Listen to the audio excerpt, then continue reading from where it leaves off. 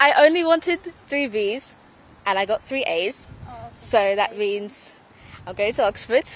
So, considering that I have felt nothing but dread since yesterday, I am feeling.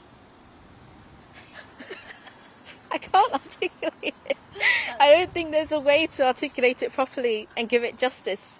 Um, relief. There we go. Yeah. I don't have to resit. I'm done.